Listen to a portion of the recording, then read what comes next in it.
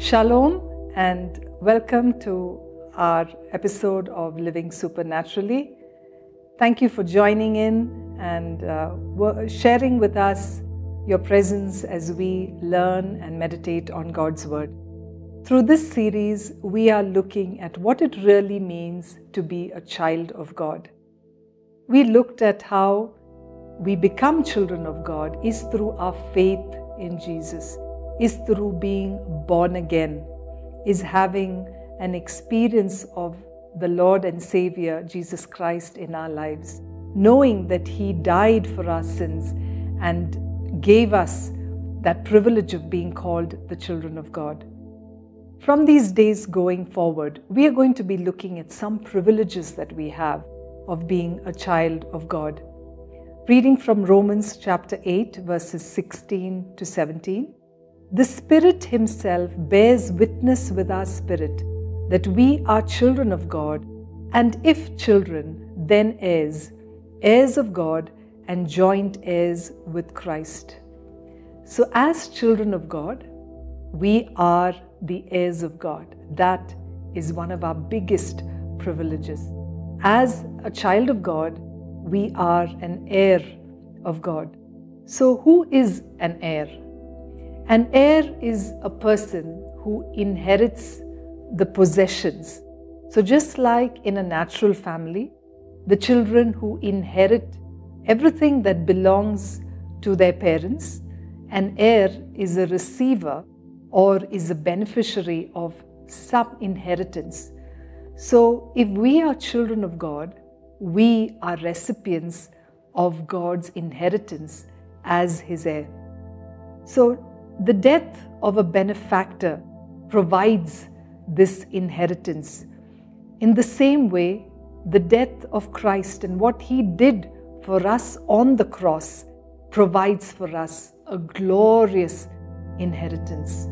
Now, as we saw yesterday, this inheritance is not based on our works or on our deeds, but it is because of what Christ has done for us.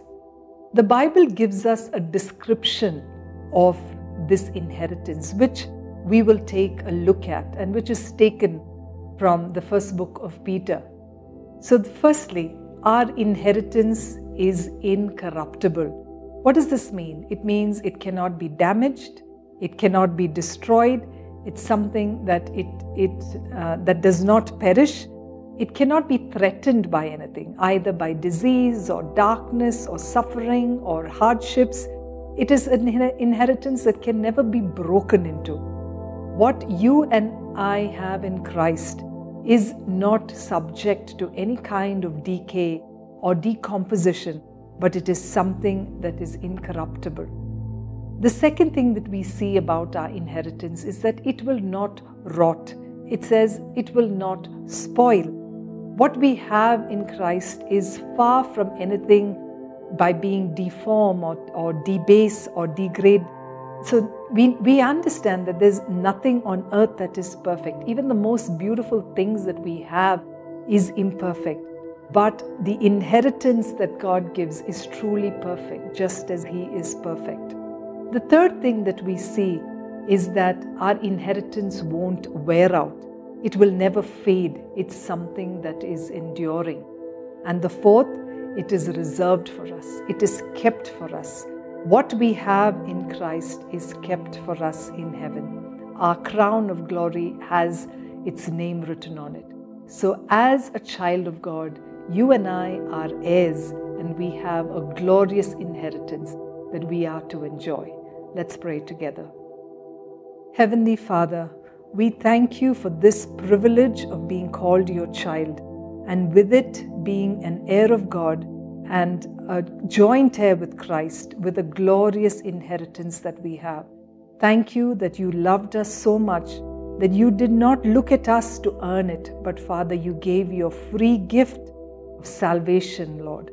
Thank you, Heavenly Father, for bringing us into your family. We are privileged. In Jesus' name we pray. Amen. Thank you for tuning in to Living Supernaturally. For more resources to strengthen your spiritual walk, please visit apcwo.org.